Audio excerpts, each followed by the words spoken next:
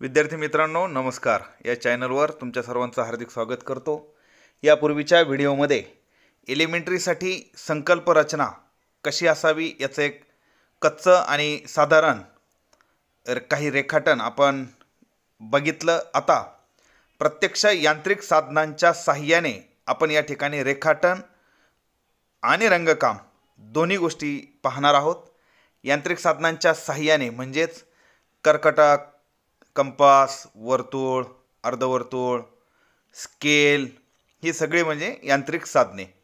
आता बघूयात आपण जे चार भौमितिक आकार बघितले होते त्यापैकी एक अर्धवर्तुळ आणि या अर्धवर्तुळामध्ये हे कसं अर्धवर्तुळ घ्यायचं आहे एक रेषा घेतल्यानंतर मधोमध त्याचा पॉईंट काढून एक अर्धवर्तुळ तयार केलं. आता या अर्धवर्तुळामध्ये दोन त्रिकोण दोन चौकोन दोन वर्तुळ आणि एक वलयाकार रेषा या घटकांचा समावेश आपल्याला करायचा आहे. त्रिकोण चौकोन वर्तुळ आणि वलायकर रेषा म्हणजे काय हे उजव्या बाजूला कोपऱ्यामध्ये तुम्ही आत्ता बघितलं.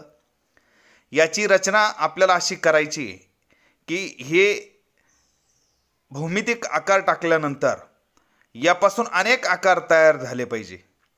आता जर समजा मी हे जे डाव्या बाजूला अर्धवर्तुळ काढून या भौमितिक आकारांचा समावेश करतो तो चूक कशा पद्धतीने आहे हे तुम्हाला या ठिकाणी दाखवतोय. हे बा दोन त्रिकोण दोन चौकोन दोन वर्तुळ. हे असं जर मी वेगवेगळं केलं तर हे चुकीचं ठरेल. आता आपल्याला याचा अशा पद्धतीने वापर करायचा आहे की ज्या या भौमितिक आकारांमधून अनेक वेगवेगळे आकार आपल्याला या अर्धवर्तुळामध्ये मिळाले पाहिजे. दुसरी गोष्ट हे आकार काढताना बघा की मी हे जे अर्धवर्तुळ आहे शक्यतो याला स्पर्श करतील रेषा. अशा पद्धतीनं मी हे काढतो आहे आता इथं मी एकच त्रिकोण काढला आहे पण आकार किती तयार झाले? एक दोन तीन चार. आता आणखी एक त्रिकोण यामध्ये काढत असताना तो तुम्हीसुद्धा हे व्यवस्थित निरीक्षण करून काय करता आलं पाहिजे याचा विचार या ठिकाणी करायचा आहे आणि जास्तीत जास्त आकार या अर्धवर्तुळामध्ये. इथे आकार कोणता येई तुम्हाला येऊ शकतो. चौकोनामध्ये एक साईज दिलेली असेल एक त्रिकोण असू शकतो काही पण. आता बघा इथं अनेक भाग पडलेले आहेत. हे अशा पद्धतीचं रेखाटन तुम्हाला या ठिकाणी करणं गरजेचं आहे. आता इथं बघा हा मोठा कप्पा तयार झालेला आहे. मला आता हे छोटे छोटे करायचे. जे जे मोठे दिसतात ते ते कप्पे मला थोडेसे छोटे करायचे आहेत. आता हा मधला जो कप्पा आहे तो फार मोठा वाटतोय. म्हणून मी चौकोन सुरुवात करतोय. तर चौकोन काढतानाच असा काढेल की त्या मोठ्या दिसणाऱ्या कप्प्यांना तो छोटा बनवेल. आणि हा छोटा बनवत बनवत बनवत मग याचे मी आता बघा जिथं जिथं मला कप्पा मोठा दिसतोय तिथं तिथं मी या भौमितिक आकारांचा वापर करून त्या मोठ्या कप्प्यांना छोटं बनवण्याचा प्रयत्न करेल. आता वरच्या बाजूला एक वर्तुळ यासाठी की वर फारच मोठ्या साईजचा कप्पा मला दिसतो आहे आता जवळपास सगळीकडं थोडं थोडं बरं आहे पण इकडं उजव्या बाजूला कोपऱ्यात दोन फारच मोठे कप्पे दिसत आहेत म्हणून वर्तुळ मी आता त्या ठिकाणी काढणार आहे. हा विचार तुम्हाला वारंवार चित्र बनवताना रेखाटन करताना करायचा आहे की कुठं कप्पा मोठा दिसतोय का? तिथे आता आपण छोटंसं बनवूयात आता बघा इथं जे मोठे मोठे मला काही आकार दिसत आहेत वलयाकार रेषाचा वापर करताना मी हा अशा पद्धतीने या ठिकाणी केलेला आहे. जे की तुम्हालाही असाच करायचं आहे. इथं मी एकच वलयाकार रेषा दिलेली आहे पण अपवादात्मक परिस्थितीमध्ये आणखी एखादी वलयाकार रेषा काढून तुम्ही हे अशा पद्धतीचं बरोबर रेखाटन करू शकता. याला अशी विशेष अडचण येत नाही. आता मी प्रत्यक्ष रंगकामाला या ठिकाणी तुम्हाला सुरुवात करून दाखवतो आहे तुमच्याकडं असलेले जेवढे पण गडद रंग असतील त्या गडद रंगांपासून मी या ठिकाणी सुरुवात करतो मी पहिला घेतला आहे चॉकलेटी ज्याला विटकरी किंवा ब्राऊन अशा पद्धतीनं आपल्याला म्हणता येईल. ह्याचा एक कप्पा मी तयार करून घेतो. आता हा एक कप्पा पूर्ण झाल्यानंतर दोन तीन त्याच्या आजूबाजूचे कप्पे सोडून त्याच्या पुढच्या कप्प्याला मी असा आकार देईल. असेच दोन चार दोन चार कप्पे सोडत सोडत सोडत सोडत मी जवळपास पाच सात ठिकाणी हे असे कप्पे या रंगाने भरून टाकेल. बघा आता जवळपास मला तीन चार तीन चार कप्पे जर सोडले तर त्याचं रंगकाम या ठिकाणी मी करतो आहे हा पहिला गडद रंग माझ्याकडे असलेल्या शेडपैकीतला एक या ठिकाणी मी घेतलेला आहे. आता मी दुसरा गडद रंग घेतो आहे हा निळ्यामध्ये गडद निळा आहे. आता हा काय करणार आहे आपण? असंच कुठं पण हे करत असताना बाहेरून आपण आतमध्ये जाणार आहे आता. म्हणजे बाहेर बाहेरचे जेवढे कप्पे आहेत हे बाहेर बाहेरचे कप्पे करत करत करत करत करत मग आपण आतले आतले कप्पे करत जाणार आहे. अगोदर गडद कप्पे बघा आता हे अशा पद्धतीने गडद कप्पे या ठिकाणी मी रंग देऊन झालेले आहेत. आता हिरव्यामध्ये माझ्याकडे जो गडद रंग होता त्या गडद रंगाचा वापर करून मी आता या ठिकाणी कप्प्यांना रंग देत आहे. आता याच्याच पुन्हा आजूबाजूचे जे आहेत अगोदर दिलेल्या पैकीतले त्याच्याच आजूबाजूचे रंग जे असतील ते अशा पद्धतीनं या ठिकाणी तुम्ही देऊन घ्यायचं आहे तुम्ही तुमच्या पद्धतीने रंगाचं स्वातंत्र्य तुम्हाला असतं किंवा तिथं जर काही बंधनकारक प्रश्नपत्रिकेत दिले असेल तर तेवढा एक फक्त विचार करणे आहे. जसा शीतरंग मध्यम रंग उष्ण रंग प्रथम रंगांचा वापर करून द्वितीय रंग तृतीय रंग तर ते रंगांची माहिती मी नंतरच्या व्हिडिओमध्ये देईल. आता बघा तिसरा चौथा एक गडद रंग घेऊन मी ही आता अशा पद्धतीचे बाहेर बाहेरचे कप्पे या ठिकाणी करून घेतो आहे आता मी आतमध्ये आतमध्ये आतमध्ये जात राहील. मी जेवढे रंग दिले याचे दोन प्रकार माझ्याकडे होते.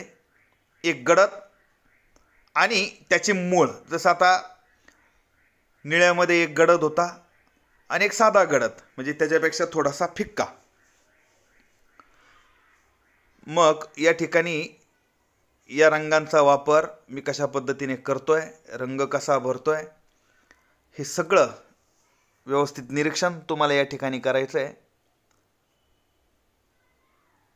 खरं तर पेपर आहे तसाच ठेवून तुम्ही रंग भरायची गरज नाही. तुम्ही त्या पेपरला वळवू शकता.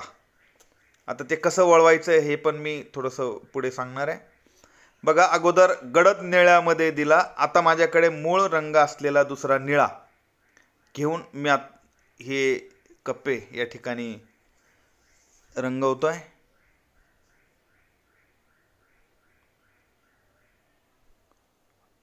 आता बघा मी आता याला थोडंसं वळवलं. कशासाठी? तर अगोदर बाहेर बाहेरच्या रेषांच्या जवळ तुम्ही रंगकाम करून घ्यायचं असतं. हे बा म्हणजे हा रंग इतर कप्प्यामध्ये जात नाही खराब होत नाही.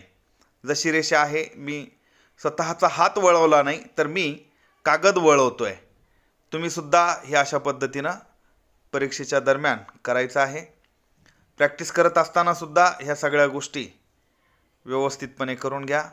विशेषत रंग तर एलिमेंटरी आणि इंटरमिजिएटवाल्यांना दोघांनाही भरायचं आहे. पण हे जे चित्र मी काढलेलं आहे रेखाटन जे आहे ते एलिमेंटरीसाठी आहे. इंटरमिजिएटला वेगळे विषय असतात. त्याची रंगसंगती त्यांना दिलेली असते कशी काढायची त्याचाही आपण पुढच्या व्हिडिओमध्ये अभ्यास करणार आहोत. बघा आता हे सगळे एवढे निळे रंगाचे कप्पे मी या ठिकाणी करून घेतलेले आहेत. आता मूळ रंग गडद जे होते ते आता संपले. आता माझ्याकडे लालमधला जो दुसरा आहे रंग तो या ठिकाणी देतो आहे जो की पहिल्या लालपेक्षा थोडासा फिका आहे. पहिला लाल थोडासा गडद आहे हा थोडासा फिका रंग या ठिकाणी वापरतो आहे आणि माझ्याकडचे हे सगळे रंग संपल्यानंतर मग मला त्याला आणखी उजळ जर करायचा असेल तर पांढऱ्या रंगांचा वापर मला करावा लागेल. आता तो मी कशा पद्धतीने करतोय हे पण तुम्हाला या ठिकाणी लगेचच दाखवतो. हिरव्यामध्ये जे माझ्याकडं दोन रंग होते त्यातलं गडद रंग देऊन झालेला आहे. आता आपण थोडासा पोपटी रंगाचा असल्यासारखा दिला. त्यानंतर पिवळ्याचा एक शेड. हा डायरेक्ट पिवळा रंग नाही आहे थोडासा लालसर आहे. तर हा या ठिकाणी मी देऊन घेतो आहे आता उरलेल्या कप्प्यांमध्ये किती कप्पे उरले आपल्याकडं रंग किती आहेत थोडाफार याचाही विचार तुम्हाला करायचा आहे.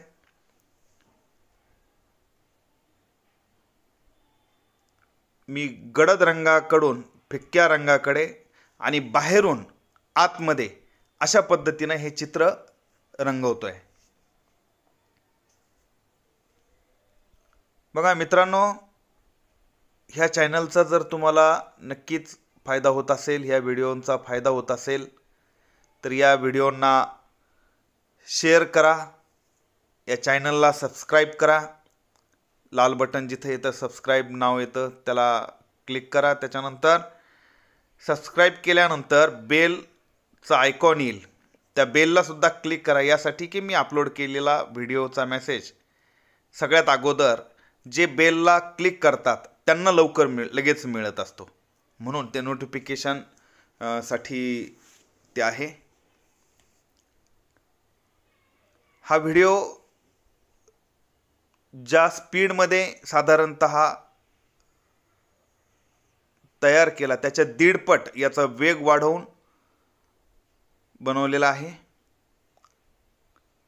आता निळ्यामध्ये मी पांढरा टाकून हे दोन निळे रंग दोन कप्पे दिले. आता हिरव्यामध्ये मी पांढरा टाकलेला आहे.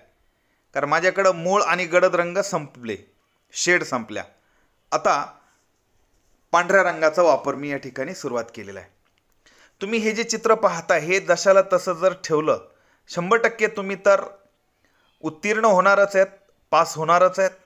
पण आणखी तुम्हाला ग्रेड वाढवून जर व्यवस्थित पाहिजे असेल चांगला ग्रेड मिळावा असं वाटत असेल हे चित्र पूर्ण झाल्यानंतर पुढच्या व्हिडिओमध्ये एक कमीत कमी वेळेमध्ये तुम्ही काय करू शकता याचं एक वेगळं प्रात्यक्षिक तुम्हाला मी दाखवेल.